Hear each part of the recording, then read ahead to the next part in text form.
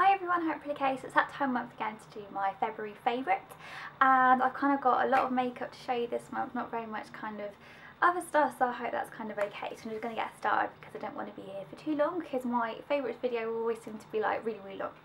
So I'm going to start with um, makeup brushes and I've been loving the Real Techniques brushes like everyone else seems to have in like the beauty world.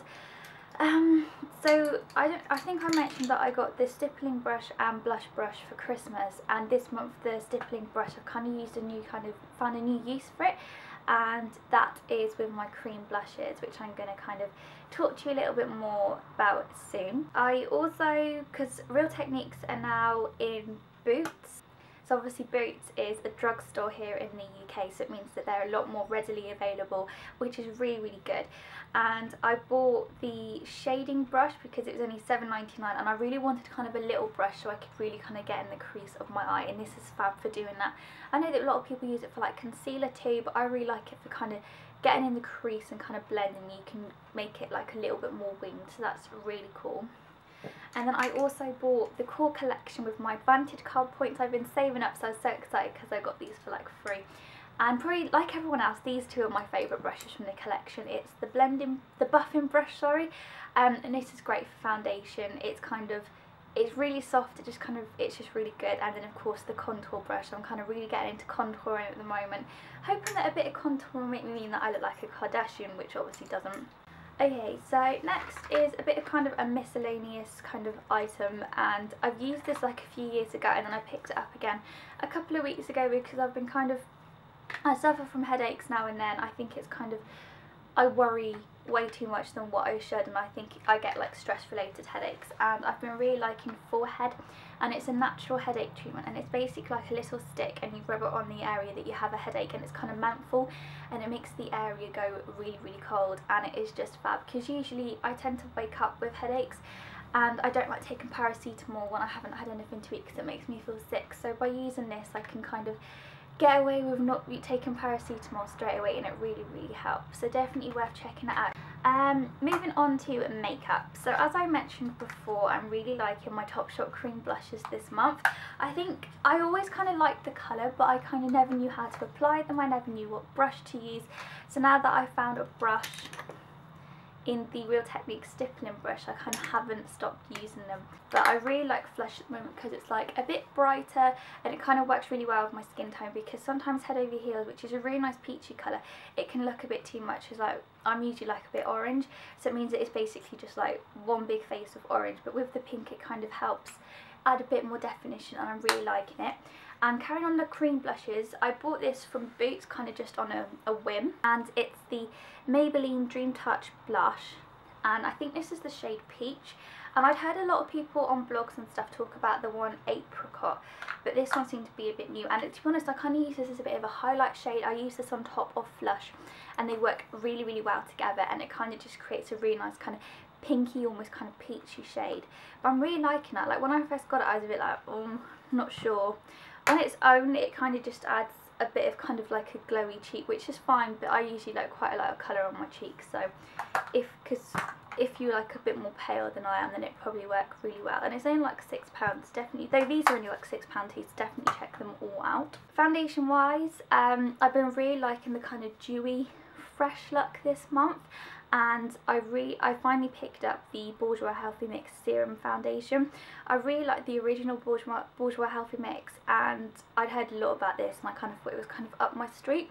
I got it in the shade 56 which is kind of the perfect colour to when I've got a fake tan on and then I mixed the two of the old, old Bourjois and this one together because the other one's a bit lighter. And they work really well and so far I'm really liking it. I mean it's not the most long lasting foundation in the world and to be honest I like to mix it with something else because on its own it's kind of a bit too light coverage and a bit too dewy for me but when I mix it with the other Bourjois Healthy Mix or like Estee Lauder Double it works really really nice and it gives you like a really kind of nice healthy look to your skin. Moving on to kind of concealer, I bought the Benefit Professional Primer this month, which I kind of, I'm not 100% sure, which is why I haven't included it in my favourites yet. I don't even think I'm ready to even give it a proper review yet. But in the kit that I got it with, I got the Benefit Erase Paste, and I'm really, really liking this. It's kind of a full coverage, creamy concealer that is perfect for under the eyes. It is just the perfect under eye concealer. Top, I've been using my Body Shop Illuminating Touch, which is basically a dupe for the Yves Laurent Touch Eclat. Obviously, it's a lot cheaper. Moving on to mascara, I bought this from Boots and that is the Max Factor False Lash Effect Mascara. I used it, I used to have this a couple of years ago and it's got like a really kind of big brush and I got the gold one because it said it was like limited edition for the Olympics. I don't even like the Olympics, I'm not bothered but I wanted the gold one.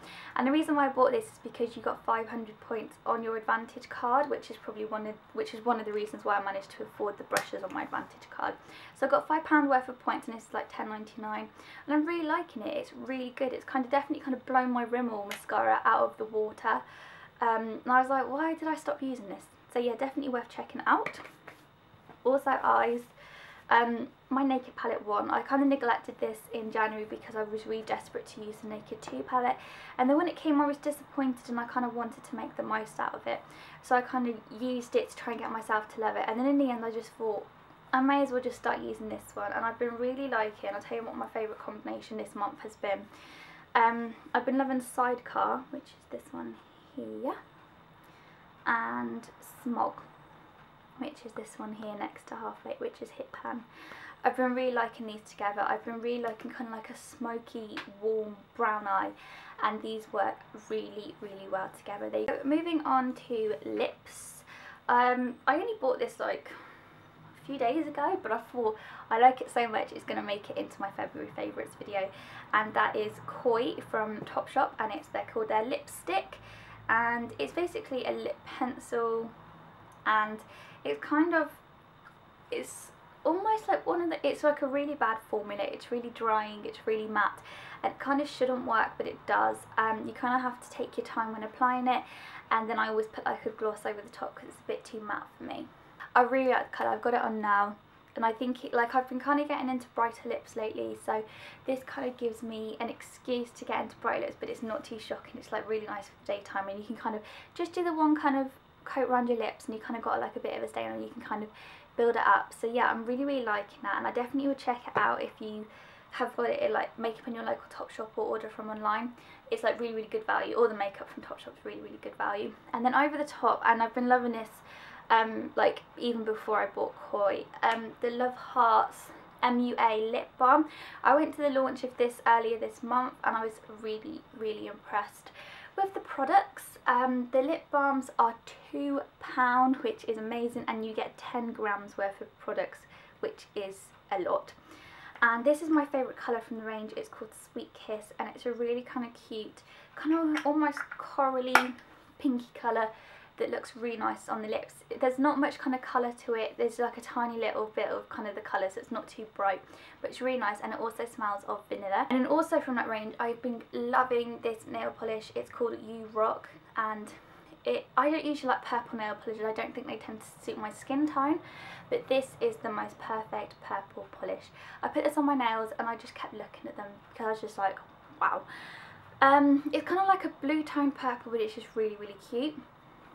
Again, it's only £2, which is an absolute bargain and it's just really nice. There's some also talking the nail polishes, I've been really liking the new Models Owns one that have been, released. They've released like a freshen up range which is all pastels and I'm loving pastels at the moment. And I've actually got this on my nails right now with a Topshop kind of glitter overcoat and this is Soda Pop Pink and I've got so many pink nail polishes in my nail polish collection. If you've watched my nail polish collection video you will know how many pink nail polishes I have but this is completely different toned pink to anything else I own. It's kind of like more like a raspberry pink and it's really really pretty. I've been really liking this. Right then, um, moving on to fake tan. I finally bit the bullet and bought some X, I don't know how to say it, it's like xylophone isn't it? N, X, N, N tan, is that it? N, N tan, X, N tan, I don't know. Ah, that's it. And I bought the dark lotion so um, I've kind of, I've run out of my Saint Tropez um, kind of lotion and I kind of thought, I kind of like having a high-end fake tan to mix with kind of like my St. Moritz because I think it makes it kind of last a lot longer. So I wanted to feel unique and I got this for seventeen ninety nine, which I think is a really really good price actually. I always thought this was really expensive but when you work out there's you get 236 mils which is this bottle for seventeen ninety nine, and the Saint Tropez I think you get 120 mils for £20 so this you're getting like almost double the amount of Saint Tropez and it's cheaper. Definitely get it from Feel Unique. They also do free delivery and it's a lot lot cheaper than like um, department stores. So I'm really really liking this. I um, it kind of it smells really nice when you apply it. It kind of smells like marzipan. I don't really like marzipan, but it smells really nice when you kind of put it on. It smells better than usual fake tan smell. Um, it kind of goes on really easily like I just use mitt and then it lasts for ages this actually lasted for ages because I always put um, like normal fake tan on my face as well and this lasted for like quite a few days. Even when I was like using my Clarisonic it just seemed to kind of it lasts. It says that it kind of boasts it's weekly safe so it's a weekly fake tan so it means that you only have to put it on once a week. And I have to say um, Last night I did put on like a little bit of gradual tanner because I felt I was getting a little bit pale. But I'd had it on since Sunday night and it was Friday night so it's been on for like five days. So I think that's pretty impressive because usually when you get to like the three, four day mark it starts to patch. But I've had no patchiness and it's only just kind of started to fade. So I'm really impressed with that. It's really long lasting and there's like a, you get a lot of products so really really like that and it also goes really dark. I tend to put about two layers on and I go really nice and dark so that's cool. Um, moving on to like a bath product is the, I've been really liking the I Love Coconut and Cream Bubble Bath and Shower Cream. I actually got sent this and I'd kind of heard of these um, rain like products before but I'd never kind of got around to buying them and these are from Superdrug, Morrison's and the Co-op and this big bottle which is 500 mils is £2, which I think is a bargain. It also smells so yummy. Mm, I love the smell of coconut and this is kind of coconut and cream so it's kind of got like a vanilla aspect to it too. And it's great because you can use that as a bubble bath or as a shower gel. And when I first heard that I was a bit like oh because when products are kind of two in one they kind of sometimes can irritate my skin. But this is really nice. It's really good for you it's really soft and it also creates loads of bubbles when you put it in a bubble bath so I really like that. Okay and then finally kind of definitely kind of not kind of beauty related but I felt like I had to talk about this. I have been loving my Kindle this month and in particular I have been loving the Hunger Games. Currently I've just finished the second one and I'm on to the third one next which is called Mockingjay.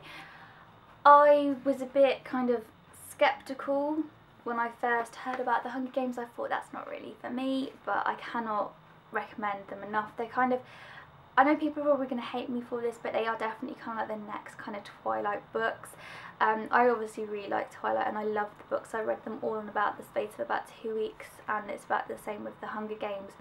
It's But with the Hunger Games it's kind of a lot more kind of tragic. Um, there's not that much romance to be honest. It's kind of it's hard, it's hard to explain. But I've been really liking it. I've been really liking my Kindle too. When I first got this for Christmas, I was a bit like, I'm not sure if I'm going to like it. Will I miss like reading a proper book? But I read a book the other day and I thought I actually prefer my Kindle. It's so easy. You can just pop onto the Amazon store and get samples of books, which is just so, so good. Literally cannot recommend these enough. But yeah, I've been really loving the Hunger Games. I stayed up till like one o'clock last night, like reading them because um, I just wanted to finish the second one and but they give me I don't know if anyone else does this they give me like really vivid dreams. Like some of the stuff that happens like really scares me like especially when they're in the arena for the Hunger Games. It like really really scares me but I'm really looking forward to the film coming out. I'm hoping it's as good as the book was um, and I'm going to be dragging my boyfriend along to go see that when it comes out later on in March. So that is my February favourites. Hopefully I haven't forgotten anything. Don't think I have. But yeah. So I really hope you like this February favourites. It's definitely kind of like a drugstore favourite month, which is good for the money. And um, remember, if you have any requests for videos, then please, please let me know. And apart from that, thanks for watching and I'll see you soon. Bye!